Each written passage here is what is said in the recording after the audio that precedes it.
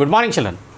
In the previous classes, we tried to understand about the freedom struggle in Hyderabad state. So, we tried to understand the organizations like Andhra Janasangam formation, the resolutions passed in the Andhra Mahasabha. It was a literary movement, basically started as a library movement, and then uh, the social reforms started dominating uh, uh, in these uh, organizations uh, to be brought and uh, they started when communists had taken over the andhra mahasabha uh, they organized a armed struggle against to the nizam. So this is what the role of andhra mahasabha we have seen in the previous class. Today we shall understand about uh, hyderabad state congress.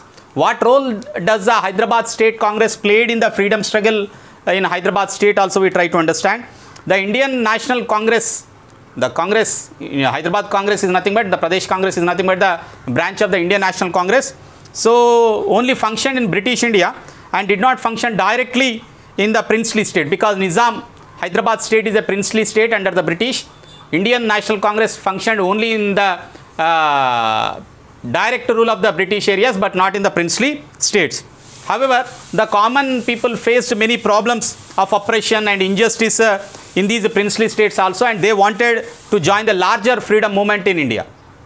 So, in such a state, the nationalists have forced the state congress uh, to fight for democratic uh, rights in these princely states and for the reforms of uh, representative government in these princely states. This happened in Hyderabad too. In many princely states, this kind of uh, fight went on for the democratic rights and for the representative governments in the, even in the princely state and that also happened in Hyderabad. So the Hyderabad State Congress was uh, formed in 1938.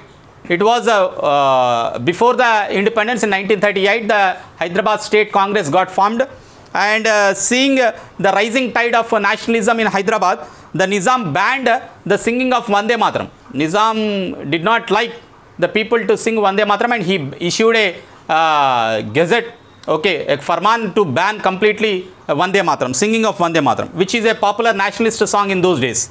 So this caused a mass reaction why he banned the Vande Mataram and uh, the students in schools and colleges took part in the agitation singing this song only against to the Nizam. The Nizam responded by closing down all the colleges and schools because those were the Urdu medium schools and run by the Nizam uh, grant. For that reason he banned all the, he has closed down all the colleges and the schools.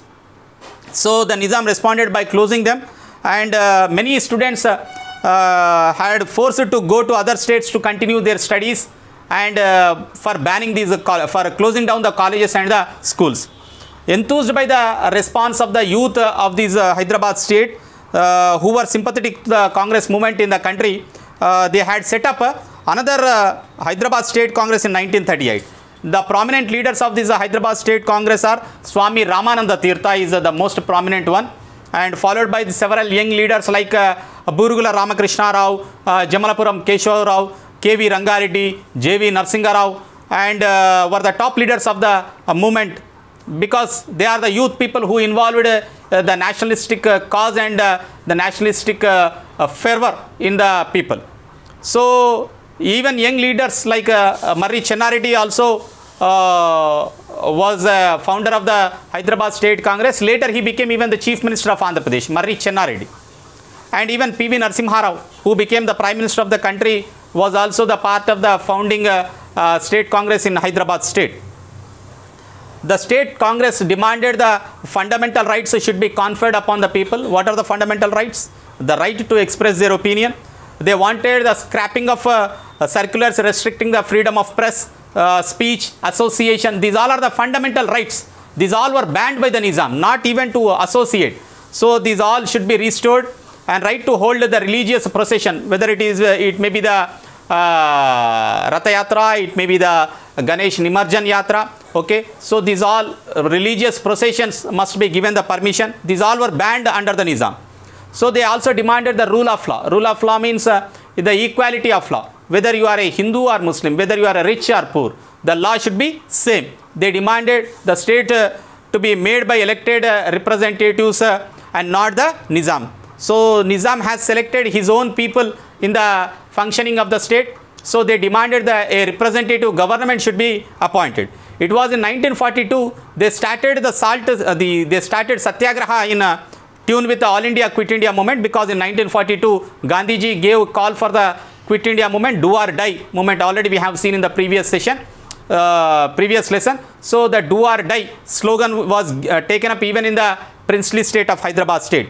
It was also banned and its leaders were arrested. In 1946, when the independence of India was become imminent, the Hyderabad state began a campaign for the merger of Hyderabad state into the Indian Union with the Republic of India and put an end to the Nizam rule. But this did not happen.